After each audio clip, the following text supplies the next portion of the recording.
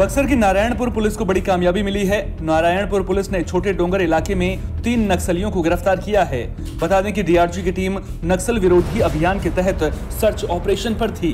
इसी दौरान तीन संदिग्ध लोगों को पकड़ा गया। पूछताछ में पकड़े गए लोगों ने बताया कि पुलिस और जनता को नुकसान पहुँचाने के लिए उन्होंने छोटे डोंगर मढुनार मार्ग में चेहरा मोड़ के पास प्रेशर बम आईईडी को छिपा कर रखा हुआ था, जिसके बाद मौके से आईईडी को निष्क्रिय किया गया। तीनों नक्सली पूर्वी बस्तर डिवीज़न के अमदई एरिया कमेटी के सदस्य बताए जा रहे हैं, जो कई नक्सली गतिविधियों में शामिल रहे। धमतरी में 6 फरवरी से आंगनबाड़ी कार्यकर्ता और सहायिका प्रदर्शन कर रहे हैं। रोज़ाना प्रदर्शन के ज़रिए आंगनबाड़ी कार्यकर्ता सरकार को चेताने में लगे हैं। इसी कड़ी में आंगनबाड़ी कार्यकर्ताओं ने आक्रोश रैली निकाली, जो गांधी मैदान से शहर के प्रमुख मार्गों से होते हुए घड़ी चौक पहुँची। महिलाओं ने करीब 20 मिनट तक नेशनल हाईवे पर बैठकर प्रदर्शन भी किया, जिससे यातायात व्यवस्था चरमरा गई। सूचना मिलने पर पहुँची प्रशासनिक टीम ने प्रदर्शनकारियों को समझा बुझाकर मौके से हटाया। बीजेपी किसान मोर्चा ने बिजली पानी की परेशानी को लेकर कलेक्ट्रेट में प्रदर्शन किया। इस दौरान बड़ी संख्या में बीजेपी कार्यकर्ता मौजूद रहे। प्रदर्शन के दौरान बीजेपी किसान मोर्चा जिलाध्यक्ष शशि ने बैरिकेड लांगने की कोशिश की, जिससे वे मामूली रूप से घायल हो गए। बीजेपी कार्यकर्ता किसानों के लिए पानी और बिजली उपलब्ध कराने की मांग कर रहे हैं। बीजेपी युवा मोर्चा ने जिला मुख्यालय के बस स्टैंड पर गृह मंत्री ताम्रध्वज साहू का पुतला फूका। युवा मोर्चा ने भयाथान मंडल के अध्यक्ष अमन प्रताप पर हुए हमले के विरोध में प्रदर्शन किया। बीजेपी युवा मोर्चा का आरोप है कि राज्य सरकार के संरक्षण की वजह से छत्तीसगढ़ में अपराध चरम पर है। आज जो हमने पुतला जलाया है, इस प्रदेश में बढ़ते गुंडागर्दी, माफिया राज और जो खनन को लेकर छत्तीसगढ़ में जो कमीशन की स्थिति बनी है और हमारे युवा मोर्चा के साथी तानाखार के, सूरजपुर के मंडल अध्यक्ष के द्वारा के ऊपर जानलेवा हमला हुआ कल रात को उनके पैरों को कुचला गया। इसके विरोध में पूरे छत्तीसगढ़ में युवा मोर्चा आज ताम्रध्वज, साहू का पुतला दहन कर रही है। इसी क्रम में आज युवा मोर्चा कोंडागांव ने भी, कोंडागांव शहर में गृह मंत्री का पुतला दहन किया। धमतरी ज़िले के परेवा डीह में बावन एकड़ घास ज़मीन पर उद्यानिकी महाविद्यालय बनाने की तैयारी चल रही है। प्रशासन ज़मीन अधिग्रहण करने की तैयारी कर रहा है, लेकिन ग्रामीण ज़मीन अधिग्रहण का विरोध कर रहे हैं। ग्रामीणों का कहना है कि पशुओं के चरने और शासकीय योजनाओं के लिए गाँव में जगह नहीं है, ऐसे में महाविद्यालय के लिए ज़मीन नहीं दे सकते। गाँव के सरपंच का आरोप है कि प्रशासन ने उन पर दबाव डालकर दस्तावेजों में हस्ताक्षर करवाया है। फ़िलहाल प्रशासन मामले में जाँच के बाद आगे की कार्रवाई की बात कह रहा है।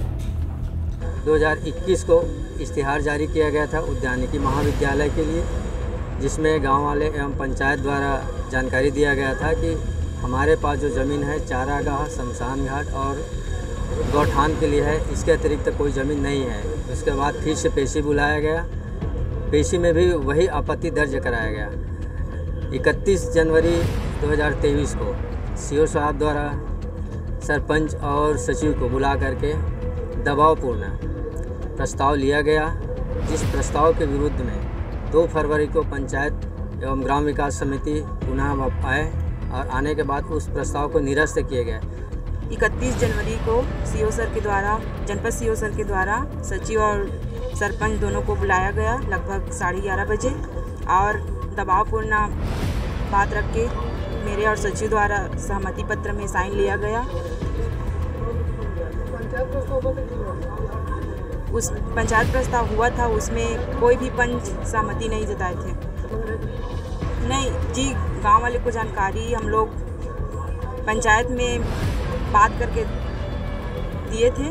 ट्वेंटी छत्तीसगढ़ शासन के द्वारा धमतरी जिला को उद्यान की महाविद्यालय की घोषणा की गई है और उसके लिए कम से कम 50 एकड़ शासकीय रिक्त ज़मीन का आवश्यकता होती है। पूरे ज़िला में हमको कहीं नहीं मिला।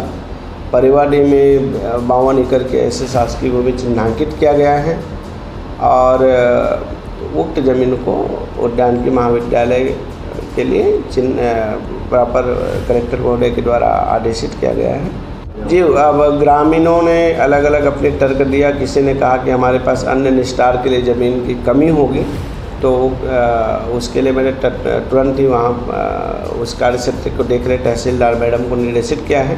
कि एक बार और जाँच कर ले। चूँकि ज़मीन आवंटन के पहले भी हमारे आर आई तहसीलदार के द्वारा ये जाँच की जाती है फिर भी अगर गाँव वालों के अगर इस प्रकार के कोई शिकायत पत्र आया तो पुनः एक बार मैंने उनको जाँच करने के लिए निर्देशित किया। शक्ति ज़िले के पिरदा गाँव में संस्कार महिला स्वयं सहायता समूह ने विश्व महिला दिवस कार्यशाला और सम्मान समारोह का आयोजन किया, जिसमें पद्मश्री फूल बासन बाई यादव ने बतौर मुख्य अतिथि शिरकत की। जनसमूह को संबोधित करते हुए उन्होंने जीवन के संघर्ष से लेकर पद्मश्री तक के सफ़र को साझा किया। फूलबासन बाई यादव ने कहा कि उनके जीवन का मकसद महिलाओं को सशक्त बनाकर समाज की मुख्य धारा से जोड़ना है। महिला अंतर्राष्ट्रीय दिवस लगातार होते रहे। महिला मन कहीं ना कहीं ये कार्यक्रम में आर्थिक से, सामाजिक से एक साथ बात करे के मौका मिलते, बैठे के मौका मिलते।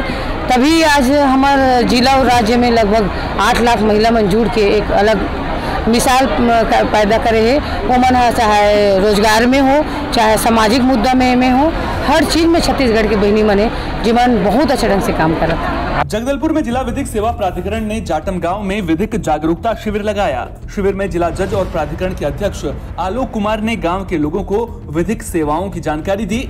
लोगों को उनके मौलिक अधिकारों और कर्तव्यों को लेकर जागरूक करते हुए ज़रूरी कानूनी जानकारियाँ भी दी गई सरकारी योजनाओं और महिलाओं के कानूनी अधिकारों के बारे में भी लोगों को बताया गया।